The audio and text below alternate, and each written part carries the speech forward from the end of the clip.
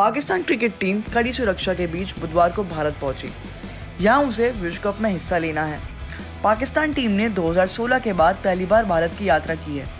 जब पाकिस्तानी खिलाड़ी हैदराबाद हवाई अड्डे पर पहुँचे तो सिक्योरिटी गार्ड्स की ओर से रोके गए उत्साहित फैंस की भीड़ ने टीम के कप्तान बाबर आज़म और अन्य खिलाड़ियों का शानदार वेलकम किया। दूसरी ओर, हर खिलाड़ी को गले में शॉल जैसा कुछ पहनाकर परंपरागत तरीके से स्वागत किया गया। रोचक बात यह है कि बाबर आज़म को पहनाए गए शॉल का रंग भगवा था। पाकिस्तान क्रिकेट बोर्ड की ओर से शेयर वीडियो में वह गले में भगवा रंग का शॉल पहने दिख भी रहे हैं। सोशल मीडिया पर लोग इस पर कमेंट भी कर रहे हैं। बता दें कि भारत और पाकिस्तान में लंबे समय से कई विवाद चल रहे हैं। उसमें कश्मीर और आतंकवादी गतिविधियाँ सबसे बड़ा मुद्दा है।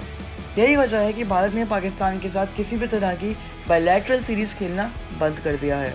पाकिस्तान का भारत में भव्य स्वागत हुआ।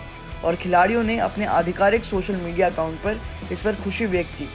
टीम के कप्तान बाबर आज़म, स्टार गेंदबाज शाहीन शाह अफरीदी और विकेट कीपर बल्लेबाज मोहम्मद रिजवान उन खिलाड़ियों में शामिल थे, जिन्होंने सोशल मीडिया पर भारतीय अधिकारियों के साथ साथ भीड़ को भी धन्यवाद किया।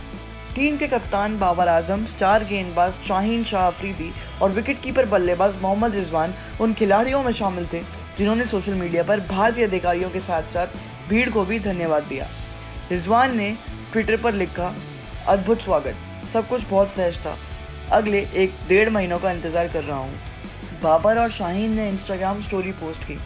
पाकिस्तान के कप्तान ने लिखा कि वह भारत में प्यार और समर्थन से अभिभूत हैं, जबकि बाएँ हाथ के तेज गेंदबाज शाहीन ने इसे भव्य स्वागत बताया। उल्लेखनीय है कि विश्व कप में 10 अलग अलग स्थानों पर 46 दिनों में 48 मैच होंगे, जिसका समापन 19 नवंबर को फाइनल में होगा। पाकिस्तान के पास दो अभ्यास मैच निर्धारित हैं।